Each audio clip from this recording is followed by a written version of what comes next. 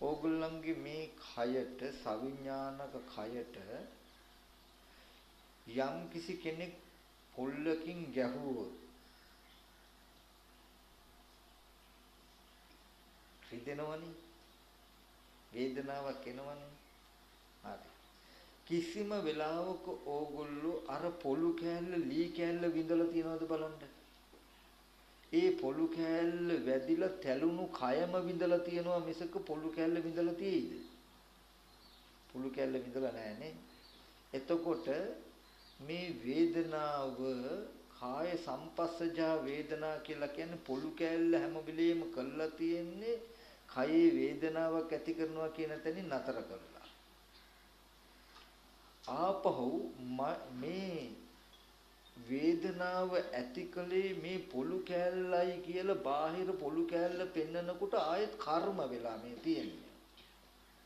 වේදනාවට අයිති නැහැ වේදනාවේ වේදනාව කියන ටිකට අයිති පොළු කෑල්ල කයට වැදිලා කයේ වේදනාව දැනෙන තැනට විතරයි වේදනාව අයිති විපාකේ අයිති. කයට ගැටිච්ච දේ ඇත්තටම අපිට පේන්නේ කයට ගැටුණු දේ විඳලා නැහැ අපි. ඒ කියන්නේ ලී කෑල්ල පොළු කෑල්ල කවදාවත් විඳලා තියනවද අපි? ඕන්නම් ගහගෙන බලන්න ලොකු ලී කෑල්ලක් අරගෙන තමන්ගේ ශරීරයට ඇස් දෙක වහගෙන ලී කෑල්ලක් අරගෙන ශරීරයට ගහලා බලන්න. ඇස් දෙක වැහුවත් වදින පාර ඇඟට වදිනවමනේ නේද? වදිනවා. එතකොට වදින දේ පෙනෙන්නේ නැහැ. හැබැයි ඒක වැදීම නිසා කාය සංපස්සේ වේදනාවක් ඇවිල්ලා තියෙයි. ඔන්න වේදනාව කියන තැන හේතුව.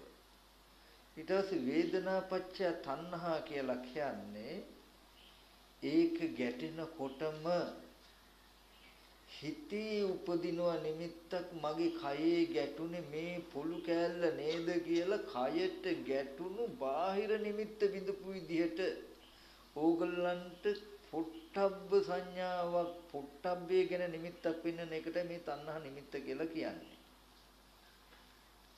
කිසිම වෙලාවක පොළු කෑල්ල ඕගොල්ලෝ විඳලා තියනවද? නෑ. පොළු කෑල්ල වැදුණු කයම විඳලා තියෙනවා මිසක ලී කෑලි වලින් සැප දුක් විඳලා නෑ. ඒ වගේ මේ රූප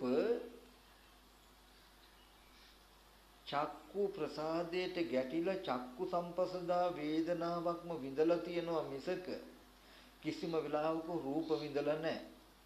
නමුත් මේ රූප වලින් මේ වේදනාව එන්නේ කියලා අපිට දැනෙන මට්ටමටයි මේ රූප තණ්හා කියලා කියන්නේ. වේදනා පච්චය තණ්හා තණ්හාව ඇති වුනහම තියෙන ලක්ෂණයක් තියෙයි මේ ඇති වෙන වේදනාව බාහිර දෙයකින් ඇති වෙන්නේ කියලා ඕගලන්ට පෙන්නනවා. කයට ගැටුනේ පොළු කෑල්ල උපතින්ම අන්ධ කෙනෙකුට මේ කතා කරන මයික් එකේ මේ ලීය යකඩ ලීය ගලවලා ගැහුවොත් කාය සංපස්සජ වේදනා. කයට ගැටීම නිසා වේදනාවක් එයිද නැද්ද? එයි. ඔන්න විපාකය. වේදනාව ආවේ මෙන්න මේ කළු පාට යකඩ කෑල්ලෙන් කියලා මේ නිමිත්ත යට පෙන්නයිද නැද්ද? පෙන්නන්නේ නැහැ පෙන්නන්නේ නැහැ පෙන්නනවා නම් ඒ වේදනාවට අමතර කාරණාවක් නේද අන්න ඒ පෙන්නන ගතිය තුල මේ තණ්හා කියන නිමිත්ත තියෙන්නේ. හැම වෙලාවෙම ඒ කාරණාව මම මේ ඔයගොල්ලන්ට පැහැදිලි කරන්න යන්නේ.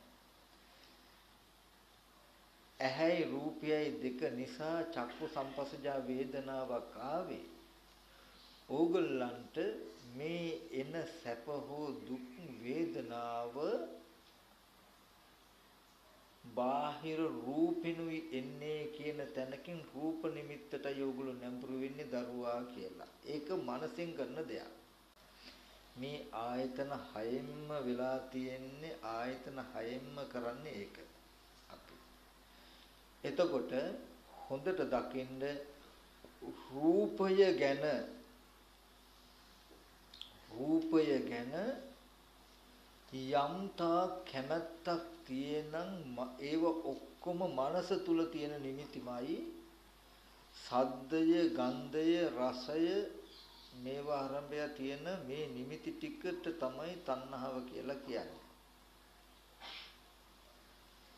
ඒ තණ්හාව ඇතිවෙන්න හේතු වෙච්ච වේදනාව හැම වෙලාවම කායිකයි කයයි අපි ඒක දකින්නේ දැකලම නැහැ දන්නේම නැහැ පුරාණ කර්මෙන් හටගත්ත මේ වේදනා කියන ධර්මතා ටික අපිට හම්බ වෙලා නැහැ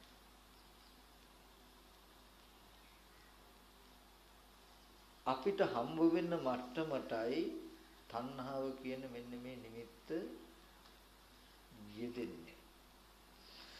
ඒ නිමිත්ත මනසෙන් කවදාවත්ම ගෙවෙන්නේ නැහැ.